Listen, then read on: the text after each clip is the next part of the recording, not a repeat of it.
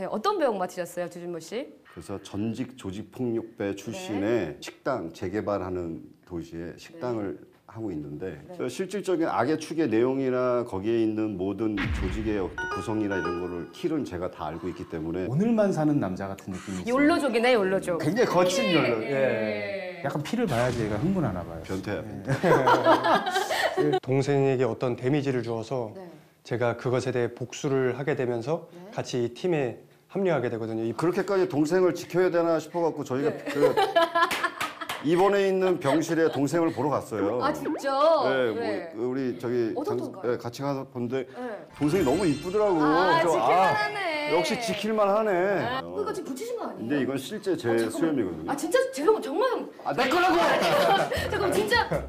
아니 쓰다듬어 보셔야지 않아요. 아 진짜예요 안 되게 뭔가 감독님 같은 느낌, 약간 대작 똥파리 2 만드시는 감독님 같은 느낌으로 오셨어요. 그래서 저희 현장에 보면 파리들이 그렇게 많이 꼬여요. 되게 독특한데 여기까지 이렇게 뭔가 둘러져 있어요. 저는 여기만 이렇게 자라요. 이렇게 해가지고 다른 데더 길러. 너 이런 데만 길러.